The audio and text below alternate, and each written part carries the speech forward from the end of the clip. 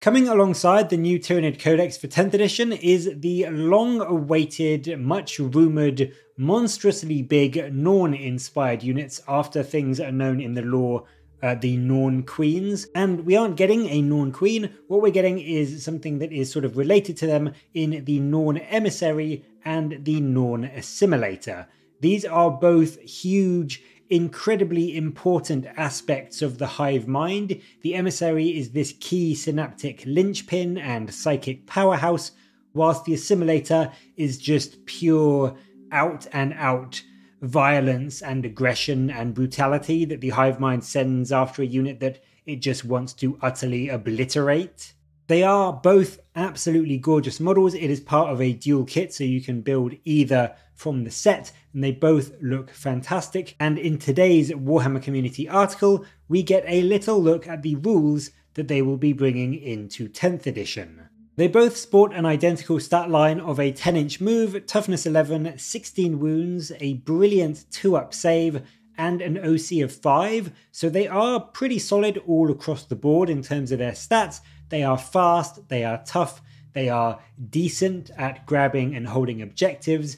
The Emissary does also sport a fantastic 4 up invuln to help keep it alive a little bit longer. It is, I guess, a shame the Assimilator doesn't seem to have an invuln, but I do think that in 10th edition, with the generally reduced AP across the board, as well as cover all over the place, against a lot of the higher than AP0 attacks you will probably be getting into these units, you are still going to get the benefit a bit of cover. So I do think that 2 up save will still serve you relatively well in keeping those 16 wounds alive and at least keeping you alive long enough to get into combat. But yet the uh, the emissary having that 4 up invuln is really really nice.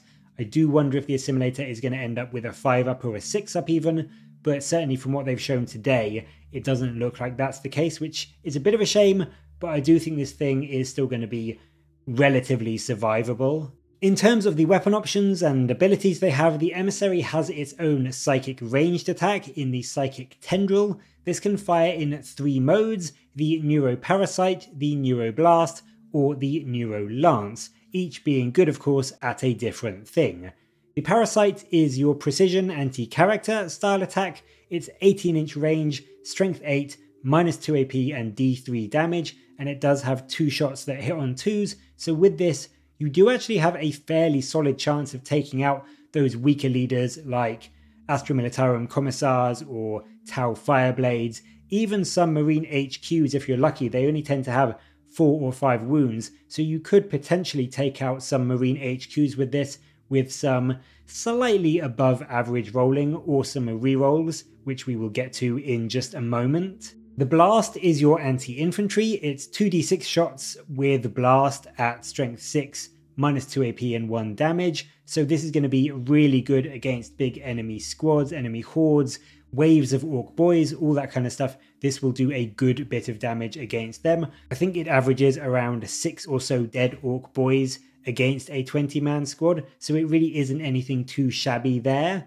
And then the Lance, of course, is your anti-elite anti-vehicle version. It's strength 12, minus 3 AP, d6 damage, and it has melter 2. So it's going to be doing a huge amount of damage to vehicles, especially within that 9 inch melter range. And the fact that it can be doing up to a potential of 16 damage in total is going to make it a fairly scary prospect for enemy rhinos or enemy wave serpents, even things like enemy Leman Russ tanks will have to be a bit wary around this thing. As has been mentioned before, the assimilator does trade this psychic power for just pure aggression, and one of its many talents is hitting things with its toxin injector harpoon, which is all by itself a fairly scary attack. It's two shots at 12 inches that are strength 12, minus 3 AP, and d6 plus 1 damage, so already it can do a relatively good number on enemy vehicles, but if you do get a hit on a monster or a vehicle,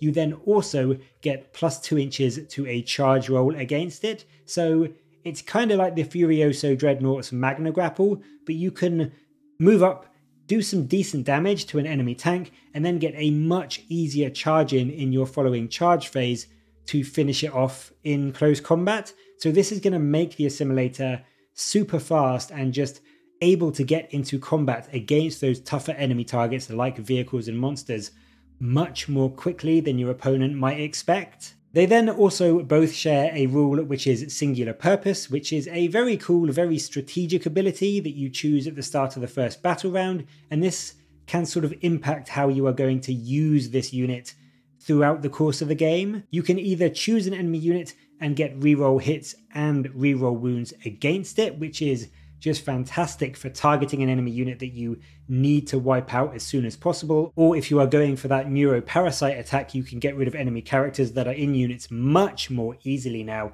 with those full rerolls. Or instead, you can choose an objective, and when your Norn model is within range of it, they get a 5 up Feel No Pain and an OC value of 15. So if you want your emissary to just sit back and fire psychic shots around the board all game long, you could choose this one and then just sit there on a backfield or midfield objective and you would have a 2 up armor save, a 4 up invuln, a 5 up feel no pain, and OC value of 15. So you will just be able to sit there and know for almost certain that this objective is going to be yours pretty much all game long and it's going to be really, really hard for your opponent to get you off it. I think what I like about this is that they both do have their uses. Normally, when there's an ability that increases your damage, like reroll to hit and wound, or one that improves your OC value, the reroll hit and wound one is just flat out better. This one is a bit more of a pick. I think the reroll to hit and to wound one is a bit more fire and forget. It's a bit easier and a bit more sort of straightforward to think about. So I do think that is still a little bit better. But having an OC of 15 as well as having that defensive buff of the 5 up Feel No Pain does make that second choice actually quite tempting in some situations. You know, if you really want your Norn unit to stay alive as long as possible, that Feel No Pain is going to make a big difference. And if you really do have an objective that you want to keep yours all game long, OC 15 is a big jump. Going from, say, 5 to 8 is kind of like, eh, it's maybe not worth it because a squad of 10, even with OC1, can still outmuscle you.